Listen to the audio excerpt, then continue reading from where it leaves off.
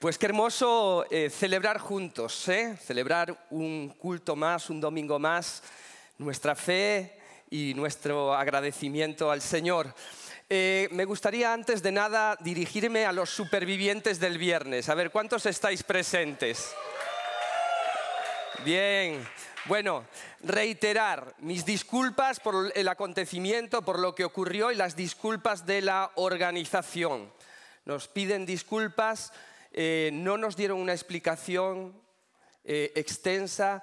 Lo que yo intuyo es que se vieron desbordados, no contaban con tanta afluencia y, bueno, lamentablemente nosotros llegamos muy sobre la hora y, bueno, nos tuvimos que quedar en la puerta y en la puerta no se, hacía nada. Así que eh, ellos se disculpan, yo también quiero trasladaros mis disculpas y aún así sí que me gustaría destacar que fue un viernes glorioso nos eh, apuntaban a que 500 personas tomaron la decisión por Cristo y yo le dije que eso lo celebrábamos, no tanto la organización, pero sí las decisiones, las celebramos. Y también eh, quisiera felicitar, porque los pastores que fueron en el autobús con nosotros, así me lo dijeron, a Sonia, que fue la guía de los dos autobuses, y los pastores me decían que le diéramos las gracias porque ella se sentía muy responsable, pero que, había sido muy amable durante todo el, viaje. Así que con eso nos quedamos. También me gustaría felicitar a los jóvenes. Eh, el título del, mensaje de hoy es La madurez es la meta. Y antes de nada me gustaría felicitar la madurez de nuestros jóvenes que hace dos semanas llevaron el culto ellos y fue algo hermoso, espectacular, inspirador y desde el principio hasta el final no sentimos que hubiese una diferencia para, para menos, sino todo lo contrario. Yo creo que hubo una diferencia para mejor. Así que felicidades a los jóvenes que dirigieron el culto, a los líderes de jóvenes que están trabajando con ellos y también a Ali que nos compartió un mensaje tan bonito. Felicidades, yo creo que ellos sí que se merecen un aplauso. Pues sí, vamos a ir directos al tema de hoy que tiene como título La madurez es la meta. Y para ello vamos a ir a un versículo que se encuentra en Primera de Corintios 3 del 1 al 3. Y dice así, yo hermanos no pude dirigirme a vosotros como a espirituales, sino como a inmaduros, apenas niños en Cristo. Os di leche porque no podíais asimilar alimento sólido, ni podéis todavía, pues aún sois inmaduros. Mientras haya entre vosotros celos y contiendas, ¿no seréis inmaduros? ¿Acaso no estáis comportando según criterios meramente humanos? Hasta aquí este texto que nos va a hablar acerca de cómo la madurez, la madurez debe de ser nuestra meta. Fijaros este, este texto escrito por Pablo, se dirige a la iglesia en Corinto una iglesia que él fundó por el año 50 después de Cristo y con, la que estuvo por lo menos 18 meses. 18 meses estableciendo esa iglesia en Corinto. Después de establecer la iglesia y después de esos 18 meses, Pablo se va a Éfeso a plantar otra iglesia allí. Y en Éfeso pasa tres años. Y durante esos tres años, o finalizando esos tres años, Pablo va a escribir la primera carta, o lo que nosotros eh, tenemos como primera carta a los Corintios. Y le va a escribir esta epístola para dar solución a una serie de problemas que él se había enterado que había en la iglesia. Había problemas de inmoralidad, había problemas en el orden de los cultos, aún no tenían regidor. Tenían problema con el uso de los dones espirituales. Tenían problemas con la participación en la cena del Señor. Tenían problemas de relaciones entre ellos, entre la comunidad. Y Pablo va a escribir esta carta para dar solución a todos esos problemas, pero yo creo que él va a mencionar ahora en este pasaje uno de los problemas que causaba, que causaba muchos de los demás problemas. Y ese problema, que era la causa de muchos otros, es la inmadurez. Fijaros que la inmadurez es un problema que causa muchos otros problemas. Pablo en estos primeros versículos va a comparar la vida espiritual, el desarrollo de la vida espiritual con el desarrollo de la vida natural. Va a decir que eh, cuando uno se convierte, cuando uno se entrega al Señor, lo que hace es nacer de nuevo, convertirse en una nueva criatura, convertirse en un recién nacido. Y como recién nacido, uno no puede tomar alimento sólido. Como recién nacido uno se tiene que alimentar con leche. Iván no puede ir a la carnicería y decirle al carnicero, dame un chuletón de kilo y medio para mí y un chuletón de kilo y medio para Mateo.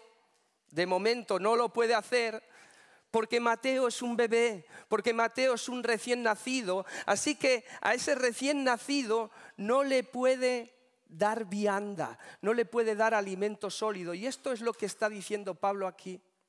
No me pude dirigir a vosotros cuando estuve con vosotros cuando os parí en el Señor, no os pude dar alimento sólido, porque no estabais preparados, porque aún no teníais dientes.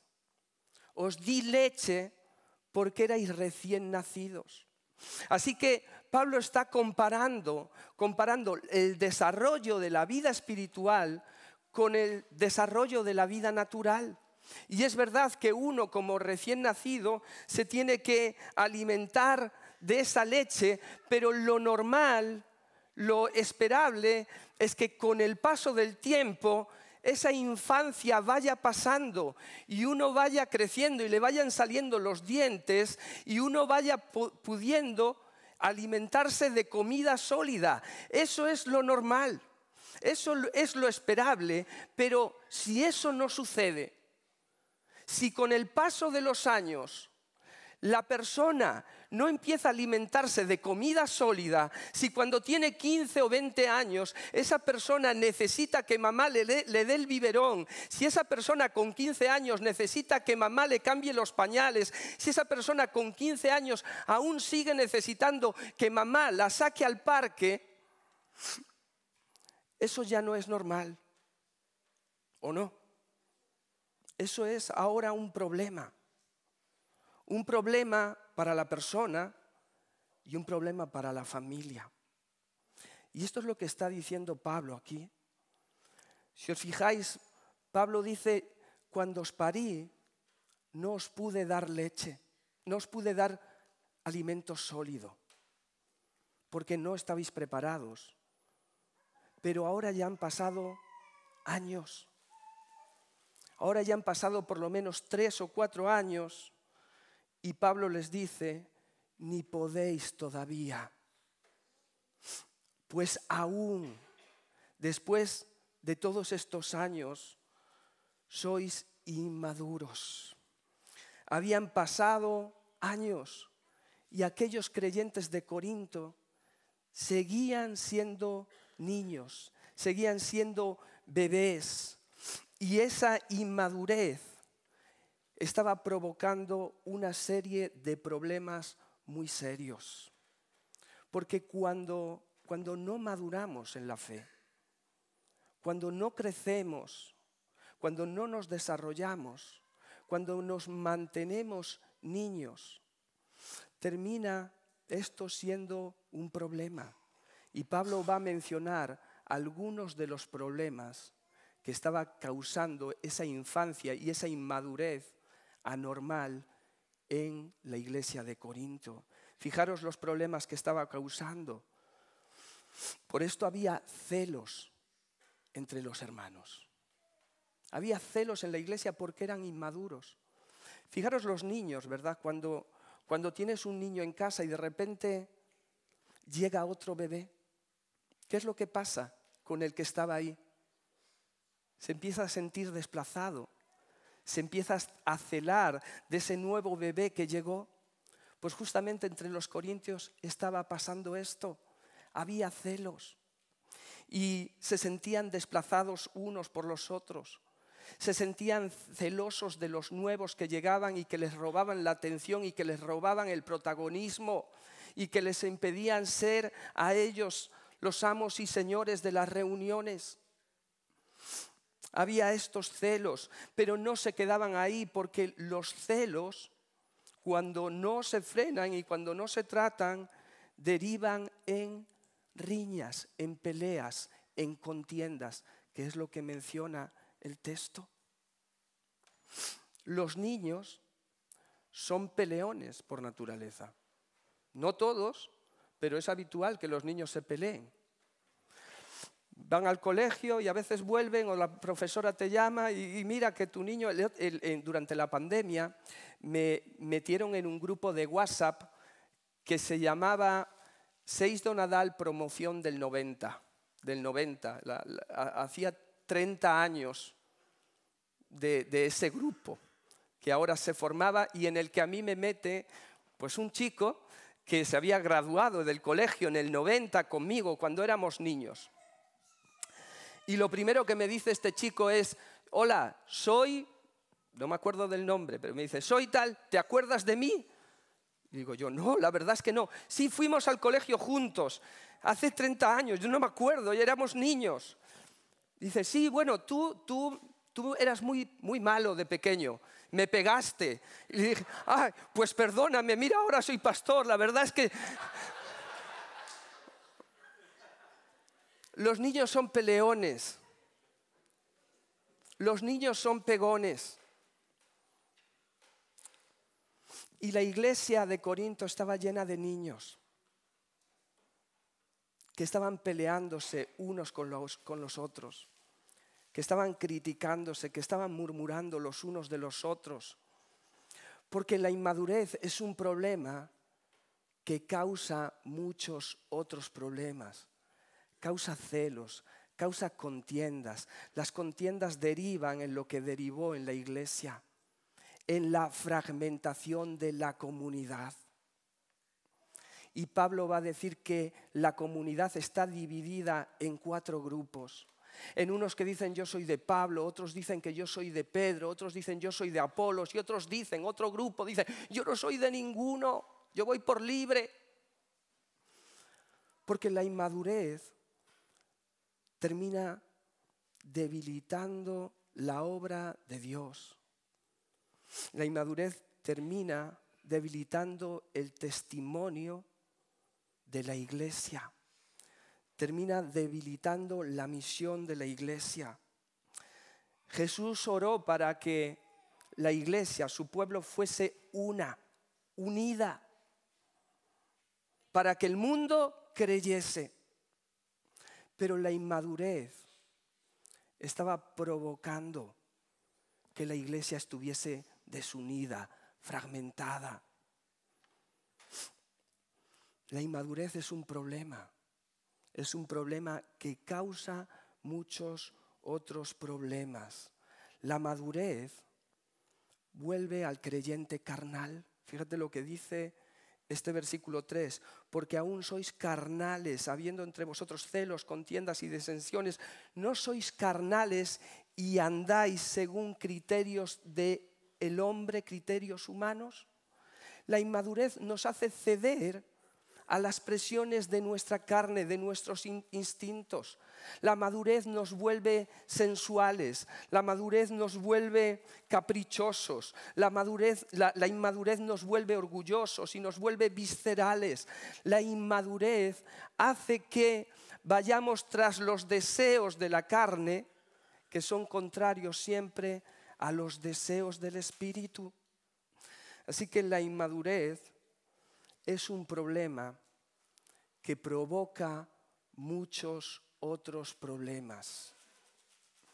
Y déjame decirte que la inmadurez es un problema de la iglesia actual y de la iglesia de todos los tiempos. No es un problema nuevo es un problema de la iglesia desde su inicio, desde su fundación. Sabes, esta iglesia a la que Pablo se está dirigiendo no fue plantada por, por Perico de los Palotes, no fue plantada por un pastor que se cayó allí, que no se sabe de dónde. Fue plantada por un apóstol, por un verdadero apóstol. Por Pablo, quizás uno de los mayores apóstoles. Él fue el que escribió la mayor parte del Nuevo Testamento.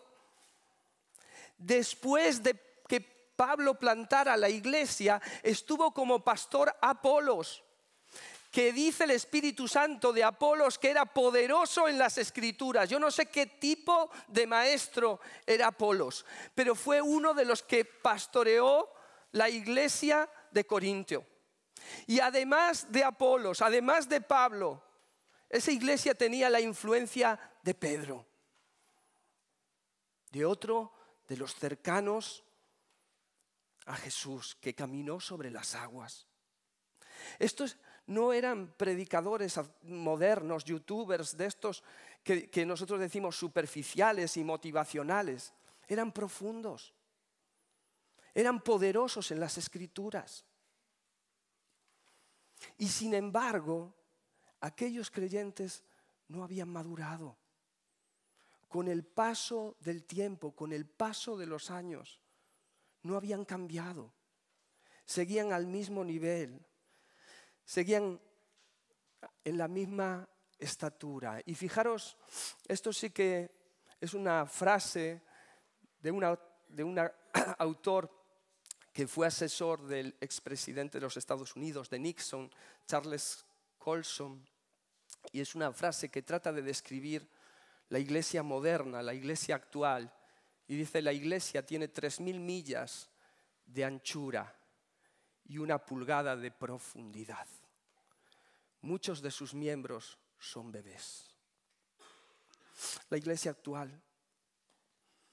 La iglesia actual tiene miles de kilómetros de extensión, pero milímetros de profundidad.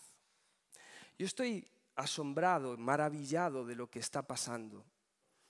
Yo creo que en España, por lo menos llevo más de 30 años en el Señor, y yo creo que nunca habíamos vivido una época como esta.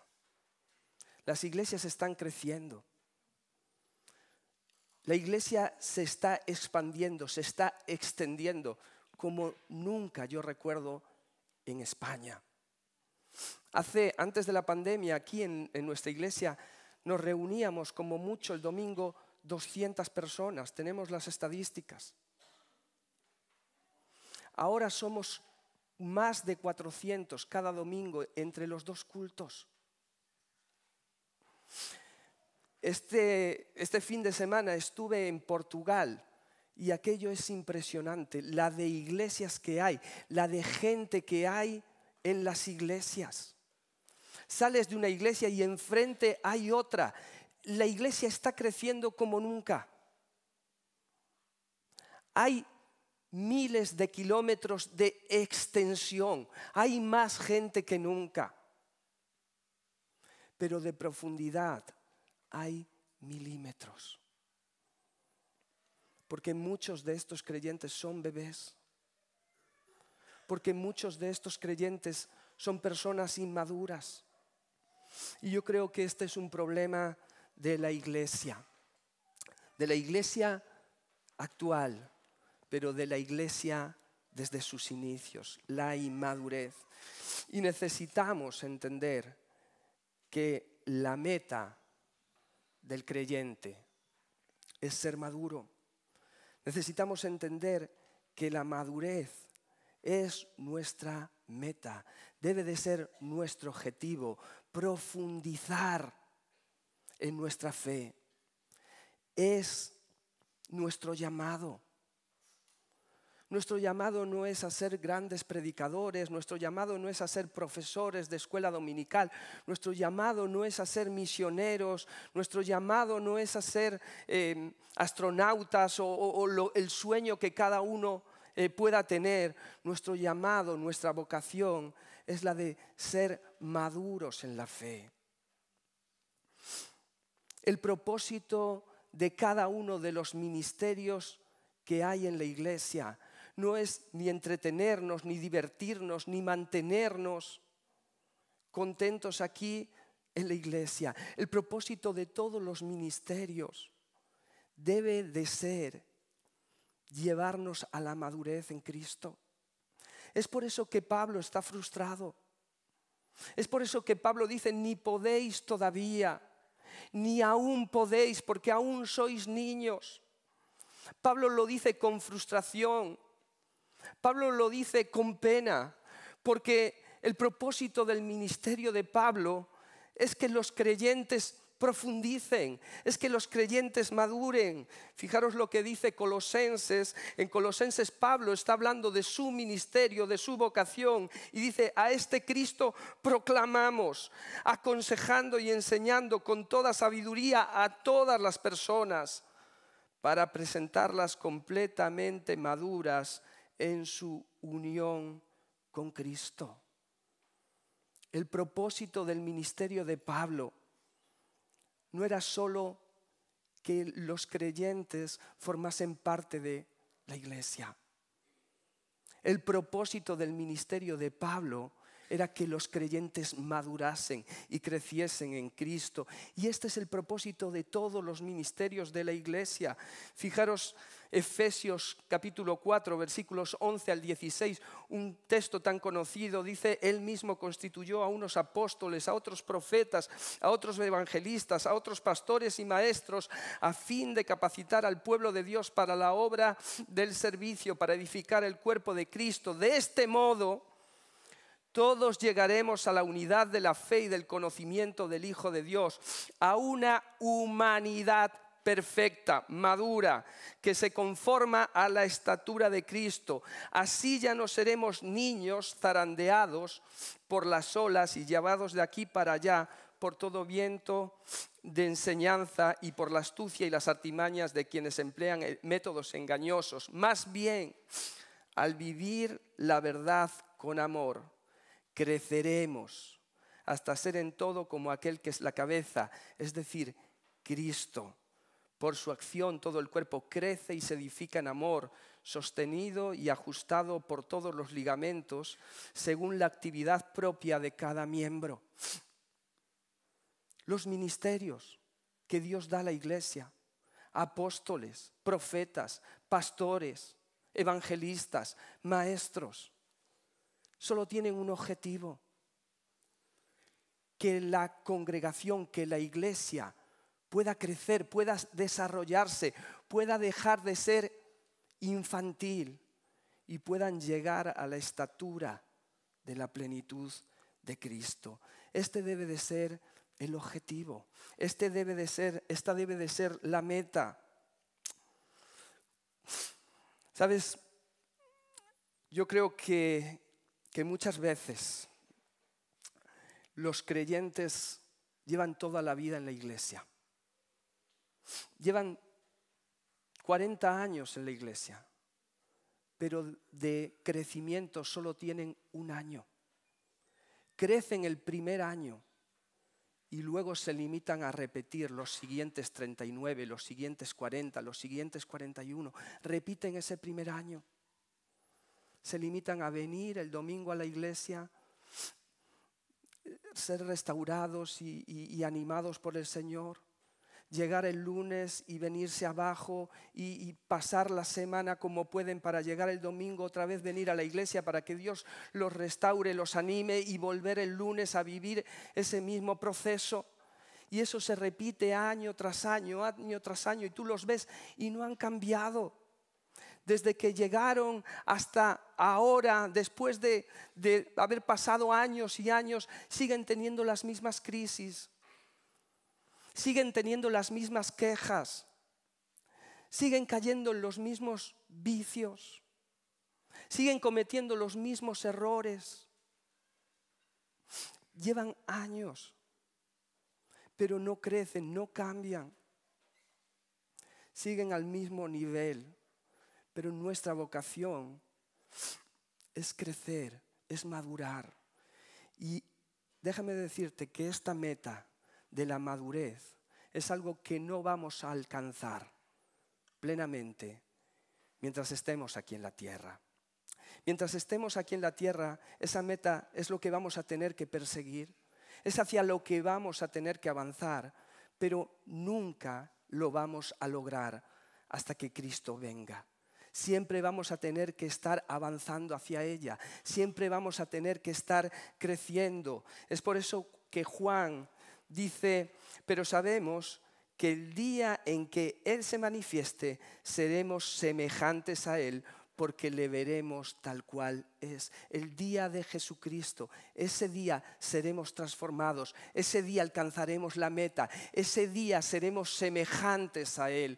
Pero hasta ese día lo que nos toca es ir creciendo, ir desarrollándonos, ir avanzando, ir superando etapas, ir mejorando poco a poco en nuestra vida espiritual. Eso es la esencia de ser creyente. La esencia de ser creyente no es ser perfecto. La esencia de ser creyente es vivir en crecimiento. Esto es lo que dice Pablo. Pablo dice, no es que ya lo haya conseguido todo o que ya sea perfecto.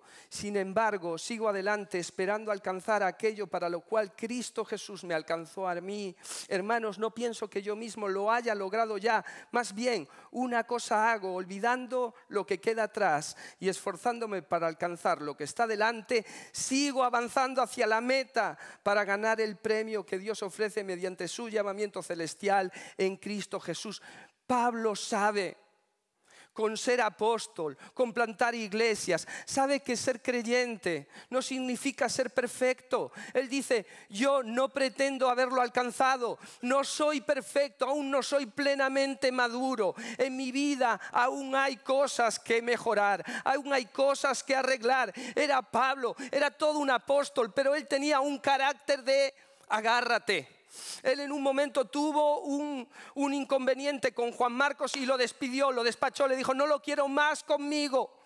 Pablo tenía muchas cosas aún en su vida que mejorar y que cambiar, pero él dice, mira, yo no pretendo haberlo alcanzado, pero una cosa hago, olvidando ciertamente lo que queda atrás. Y es verdad que quedan atrás errores, y es verdad que quedan atrás fallos, y es verdad que quedan atrás meteduras de pata. Pablo dice, yo no me condeno, olvidando ciertamente lo que queda atrás, yo no me condeno, pero yo no me conformo. Me esfuerzo por alcanzar la meta. Él olvida, no se condena, pero no se conforma. Se esfuerza por avanzar, se esfuerza por crecer, se esfuerza por madurar. Mira, la madurez o madurar no consiste en caer menos. Madurar consiste en levantarte más rápido cada vez que te caes. No consiste en caer menos, consiste en levantarte más rápido cuando te caes. Mm, un niño se cae y ahí se queda, llorando y pataleando y esperando que venga mamá y que lo levante y que le frote y que le haga el sana sana. Pero cuando eres maduro, te tropiezas, te caes y te levantas lo antes posible, te sacudes y sigues adelante. Eso es de lo que se trata el crecer en nuestra fe. Hay un autor que, usamos mucho en los cursos de bautismo, se llama Billy Hanks, y él dice, nunca he, visto, nunca he visto creyentes maduros, sino creyentes madurando, porque es verdad que la madurez, mientras estemos aquí en la tierra, no la vamos a alcanzar simplemente la vamos a perseguir creciendo. ¿Sabes? Cuando te estancas en tu crecimiento, no te mantienes, sino que retrocedes. Escucha esto. Cuando dejas de crecer en tu fe, no te estancas, retrocedes. El otro día estaba con mi hermano y él me preguntó, ¿te acuerdas de hacer raíces cuadradas? Y yo me quedé así. Le dije, mm, no me pongas en eso porque creo que no. ¿Cuántos se acuerdan de hacer raíces cuadradas? Alguno, alguno, lo tendríamos que comprobar. Pero, pero, pero, ¿cuántos aprendimos a hacer? ¿Cuántos estuvimos allí? ¿Cuántos, ¿Cuántos hemos pasado esa etapa? Todos o la gran mayoría que fuimos al colegio, ¿verdad? Pero ¿qué pasó? Dejamos de practicar, dejamos las matemáticas, dejamos de crecer y no nos estancamos allí, sino que retrocedimos. El autor de Hebreos le dice a los creyentes, vosotros después de tanto tiempo ya deberíais de ser maestros pero tenéis necesidad de que se os vuelva a enseñar, se os vuelvan a enseñar los rudimentos de la fe. Ya deberíais de ser maestros, ya aprendisteis los rudimentos, ya aprendisteis los fundamentos, pero necesitáis volver a ellos. ¿Por qué? Porque habéis retrocedido. Cuando no avanzamos, cuando dejamos de crecer, no nos estancamos, sino que retrocedemos. Así que la esencia de la vida cristiana es crecer. De hecho, nosotros decimos que somos discípulos o deberíamos decir que somos discípulos. Pero ¿qué significa discípulo? Significa aprendiz. Significa que aprendemos, que crecemos y en el momento que dejamos de aprender y de crecer, dejamos por definición de ser discípulos. Tenemos que vivir creciendo y me he comido el tiempo, pero voy a tratar de ahora daros algunas ideas de qué hacer para crecer. Para crecer necesitas comer cada día. Vamos a ver algunas dinámicas, cinco dinámicas para crecer. Y empiezan por la C. Crecer, tienes que comer cada día. Dice Romanos, así que la fe viene como resultado del oír el mensaje y el mensaje que se oye es la palabra de Dios. Sabes, hay creyentes débiles, hay creyentes inmaduros porque no se han alimentado correctamente. Si quieres crecer en tu fe, te tienes que alimentar, tienes que alimentar tu fe con la palabra de Dios. Sabes, la palabra de Dios, aquí se menciona que es leche, que es carne y en otros lugares se menciona que es miel. Es todo un menú Tienes que alimentarte de todo el menú. Los niños solo quieren la leche, los niños solo quieren la miel, pero si quieres crecer tienes que estar dispuesto a probar la carne. Así que levanta la mano y levanta la mano conmigo. Y ahora el meñique, vamos con el meñique, escucha la palabra. El siguiente, anular, di, lee la palabra. El otro es estudia la palabra. El siguiente, memoriza la palabra. El gordo, reflexiona en la palabra. Cierra el puño y di, practica la palabra. Y así te harás fuerte en el Señor. Así te harás fuerte en el Señor. Aliméntate. Construye nuevos hábitos. ¿Sabes? No hay ninguna persona que haya logrado el éxito que no haya tenido buenos hábitos en su vida. Si quieres, si quieres cambiar tu vida, si quieres crecer en tu vida, necesitas construir buenos hábitos. Necesitas construir nuevos hábitos. Si tú quieres tener buena salud, tú vas a tener que implementar en tu vida nuevos hábitos de alimentación y nuevos hábitos de ejercicio. Si no lo haces, por mucho que ores, no lo vas a tener. Así que si quieres crecer, necesitas implementar en tu vida nuevos hábitos. Pablo le dice a Timoteo, rechaza las leyendas profanas y otros mitos semejantes, más bien ejercítate para la piedad. El ejercicio es algo que se hace habitualmente. Un hábito es una acción que se repite habitualmente o normalmente, diariamente. Si tú quieres cambiar tu vida, si tú quieres ser más amable, en tu vida, quieres cambiar tu carácter, tienes que habituarte a decir por favor y decir gracias. Si tú quieres cambiar tu vida y ser más romántico, tienes que decir habitualmente te quiero y habitualmente sorprender a tu pareja, sorprender a tu mujer. Si tú quieres cambiar en tu vida, tienes que cambiar tus hábitos.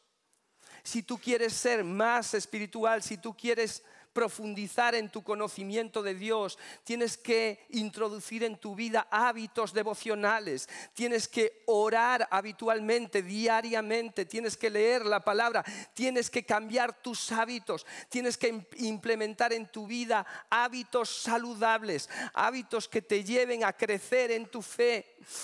En tercer lugar, si quieres crecer necesitas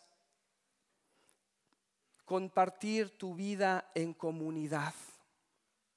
¿Sabes? Cuando un niño nace para crecer, Dios lo introduce en una familia y en esa familia Él no va a tener solo sus necesidades básicas cubiertas. Ahí también va a aprender las habilidades para relacionarse con las demás personas. Es en la familia donde aprendemos a relacionarnos. Aprendemos a ser amigos, aprendemos a amar, es en la familia. Pero tristemente, en el mundo natural y en la familia natural aprendemos a relacionarnos de forma parcial. Aprendemos a amar de forma imperfecta. En nuestras familias naturales aprendemos a amar a aquellos que nos aman, aquellos que son parte de nuestra familia. En, en el mundo natural aprendemos a amar a aquellos que nos caen bien aprendemos a amar a aquellos que nos atraen o a aquellos que nos convienen. Aprendemos a amar y a relacionarnos de forma parcial, de forma imperfecta. Pero en la familia espiritual es donde aprendemos a relacionarnos de forma correcta, de forma perfecta. Es en la familia espiritual donde Dios nos introduce para que nosotros amemos como Él ama. Dios no ama de forma parcial. Dios ama de forma imparcial. Ama a todos, independientemente de quién sean y de cómo sean. Y es por eso que Dios nos introduce en una familia espiritual donde somos tan diferentes. Mira a tu alrededor donde somos de diferentes culturas, donde somos de, diferentes idiomas, donde somos de diferentes razas, donde tenemos diferentes gustos, donde tenemos diferentes opiniones, donde a veces tenemos opiniones enfrentadas, pero Dios nos introduce en esa familia para que en esa familia convivamos y aprendamos a amarnos los unos a los otros, aun siendo diferentes aún siendo personas que fuera de la iglesia nunca, nunca nos relacionaríamos los unos con los otros. Pero Dios quiere que aprendamos a relacionarnos, a convivir y a amarnos los unos a los otros, porque este es el amor de Dios. Este es el amor que Dios quiere que demos. Dice Jesús en el Sermón del Monte, si amáis solamente a quienes os aman, ¿qué, recompensa recibiréis? ¿Acaso no hacen esto hasta los recaudadores de impuestos? Entre los discípulos había un recaudador de impuestos que se llamaba Mateo. Y si solamente saludáis a vuestros hermanos, ¿qué hacéis de más? ¿Acaso no hacen esto hasta los gentiles? Por tanto, sed perfectos, así como vuestro Padre Celestial es perfecto. Dios no quiere que amemos simplemente como el mundo ama. Dios quiere que amemos como Él ama. Él ama con amor ágape, con un amor a pesar de, a pesar de que seamos diferentes, a pesar de que muchas veces no coincidamos en la opinión. Dios nos llama a convivir, a amarnos y a relacionarnos. Por eso es tan importante en la iglesia aprender a perdonarnos, porque es de esa manera que Dios nos amó, nos perdonó y así nosotros tenemos que amarnos. En, cuarto lugar, contribuye, colabora. Si quieres crecer, contribuye y colabora. Los niños son muy consumidores y muy poco colaboradores. Pero cuando uno le dice al niño lo que tiene que hacer, aún a regañadientes, lo hace, él empieza a aprender y empieza a crecer. Dios te introduce en la iglesia no solo para que consumas, sino también para que contribuyas. Y por eso nos da dones a todos y a cada uno de nosotros, nos da dones para que con ellos sirvamos y sirviendo crezcamos juntos. Y por último, si quieres crecer, si te interesa crecer, comprométete. Nos comprometemos solo con las cosas, le digo, le pido al grupo que pase, pero nos comprometemos solo con las cosas importantes, con las cosas que nos importan. Y es verdad que hoy miramos mucho con aquello que nos vamos a comprometer. Somos una sociedad que le huye al compromiso. Aún así nos comprometemos con algunas cosas. Nos comprometemos con el gimnasio, aunque no le cumplamos, pero nos comprometemos con él y le pagamos una cuota. Nos comprometemos con el coche a veces y por cinco años decidimos estar bien comprometidos con ese coche pagándole la letra al banco. Nos comprometemos, nos comprometemos con, con una pareja, ¿verdad? No lo pensamos, nos lo pensamos, pero a veces tomamos la decisión, somos valientes, nos comprometemos porque nos parece importante la relación y nos comprometemos para toda la vida. Nos comprometemos con aquello que nos parece importante. Nos comprometemos con una vivienda y decimos, bueno, durante los próximos 30 años voy a estar aquí, voy a estar pagando la hipoteca. Nos, nos, comprometemos. Nos comprometemos con lo que nos parece importante. ¿Cuán importante te parece crecer? ¿Cuán importante te parece madurar? ¿Cuán importante te parece profundizar en tu fe. Fíjate lo que dice Pablo segunda en, en Corintios 13, este capítulo tan interesante donde Pablo habla del amor y de repente él empieza a contar su experiencia como creyente y él dice, cuando yo era niño, pensaba como niño, hablaba como niño y juzgaba como niño, pero cuando llegué a ser maduro, dejé las cosas que eran de niño. Para ser maduros tenemos que dejar, dejar las cosas de niño. La sociedad romana tenía una práctica cuando los niños pasaban a ser adultos. Era una ceremonia en donde el niño iba a entregar un juguete para desprenderse de esos hábitos. Los niños son jugones. Pero en esa ceremonia iba a desprenderse del juguete, iba a cambiarse una toga, una toga blanca con un bordado púrpura. Esa toga se conocía como la toga pretexta. Y ese día en el que iban a pasar de la infancia a la adultez, entregaban un juguete y se cambiaban la toga pretexta. Pretexta se refería a ese bordado, ese era el pretexto. Ese bordado se ponía por delante de la tela para adornar la tela. Ese era el pretexto. Y ese día los niños entregaban un juguete y se despojaban de la toga pretexta para vestirse una nueva toga que no tenía pretexto, no tenía bordado que se conocía como la toga virilis.